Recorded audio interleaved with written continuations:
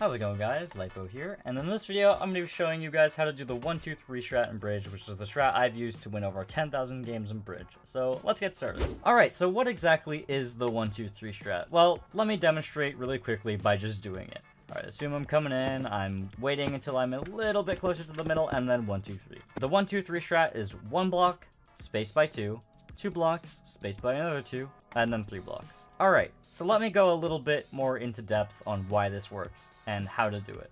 So, this strategy works so well because it puts you in two optimal positions, assuming your opponent is in a good spot. So, let me demonstrate what those two positions are. Let's do this again. One, two, three. Um, I want to be a little bit closer to the middle but I'll just explain, you'll get it. So, assuming your opponent is running straight on, like they're not bypassing, not doing any funny stuff, if I can just jump over them, well then they can't do anything, and then I can just go score the goal. So, that's the first position you can be in. Now, the second one is, let me do this again, one, two, three. Let's say they're not going straight down on the bridge. They're bypassing to the left, or they're bypassing to the right. Now, if they do that, I can just dip down, and hit them off. This assumes that they're bypassing high enough for me to do that. But if they are, then you can just knock them off and keep going.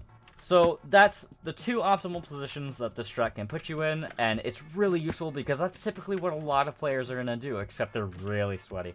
But, uh, I mean, nah, there's a lot more sweaty players now, but it works on most people. Alright, so now that I've explained why it works, let me actually explain how to do it. Alright, so as I said earlier, you need to walk a little closer to the middle of your bridge, and the reason for this is because you don't want to do the 1, 2, 3 earlier.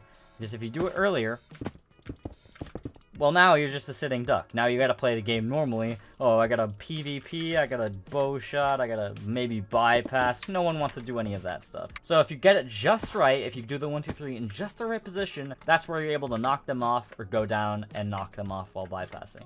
Let me slow it down a little bit.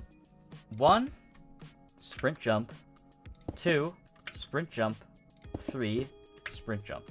All right, so now do this again. One, sprint jump, two, sprint jump, three, sprint jump. So now, keep in mind, you're going to be doing this while just like, you're not, you do not want to stop. So, imagine doing that, just like straight up just sprint jumping. You want to do it just like that. You don't want to slow down or anything. So, practice is really key here. Slow it down, take your time, just get it down, and once you start getting it down, do it faster and faster.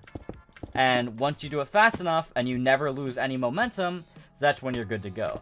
Uh, if you notice how smoothly my mouse kind of goes down, here, watch like this again. Yeah, kind of goes very smoothly down like this. So yeah, that's the 123 strat. Basically, it's really just practice makes perfect in this case. I, I've done this over like 10,000 times at this point, so I'd say I'm pretty alright at it. So, again, practice it as much as you can, and once you get it down, you'll be winning as many bridge games as you can with it. That might not be too many because there's so many sweats in queue now. I hope the strat helps you guys out in the future, and I'll see you guys on the next video.